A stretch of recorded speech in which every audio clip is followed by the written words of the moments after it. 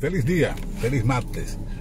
Más optimista, más a gusto con lo que ha estado registrándose a nivel del país.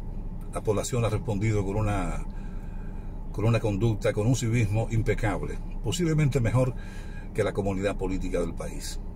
Es increíble cómo el país en su gran mayoría, en su mayor porcentaje, ha estado recogido y viendo cómo se desarrollan estos últimos acontecimientos. Por suerte, tenemos ya fecha para el proceso comicial municipal abortado el pasado domingo. Obviamente la Junta no puede desapoderarse o desentenderse de su gran y alta responsabilidad en el caso del domingo pasado.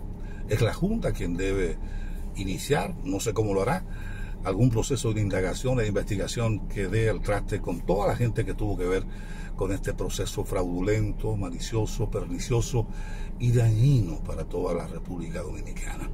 Nadie puede estar de acuerdo con que eso se haya producido en el país. Es un hecho bochornoso, nefasto, como ya lo he calificado, y, y muy triste para un país que ha dado cátedra y que ya tiene un largo ejercicio de actividad democrática, que hemos servido como referente y como referencia para países hermanos que han venido a pedir nuestra asesoría.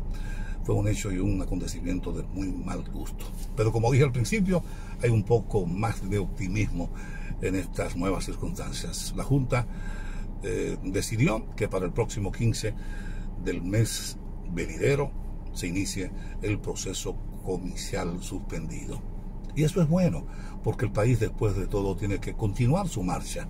El país no puede paralizarse ante cualquier evento por la naturaleza o dada la naturaleza de que se trate, independientemente de, de la importancia que tiene un proceso comicial. El país somos todos.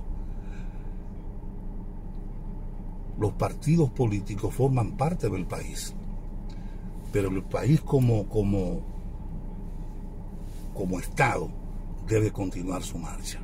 Por eso me parece muy bien que la Junta haya decidido fijar fecha próxima para culminar con esta gran jornada, que por demás tiene fecha, fechas específicas en la Constitución y en las leyes que tienen que ver con estos aspectos. De manera que bienvenida a esta decisión de la Junta y no olvidar su gran y enorme responsabilidad de dar con la gente que estuvo implicada, que tuvo que ver con que la comunidad nacional se haya visto sumergida en este estado depresivo desmoralizante en el que se sometió a partir del momento en que se suspendieran por primera vez un proceso comicial como el del pasado domingo. Feliz resto del día y ya nos veremos más adelante en una nueva oportunidad.